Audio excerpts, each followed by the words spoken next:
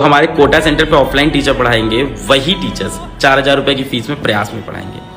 तो कहीं से भी ऑनलाइन बैच आपका फीका नहीं पड़ रहा है। ऐसा नहीं कि अलग सर ने ऑफलाइन खोल दिया तो आप सारे अच्छे अच्छे टीचर वहाँ रहेंगे, ऑनलाइन में नहीं रहेंगे। वही टीचर जो पंद्रह पंद्रह साल एक्सपीरियंस वाले विद्यापीठ पी डब्ल्यू कोटा में पढ़ा रहे हैं ऑफलाइन में, वही टीचर चार हज़ार की फ़ीस में प्रयास के अंदर पढ़ा रहे हैं सेम कॉन्टेंट सो उस पर डाउट मत करना, कभी नहीं होगा।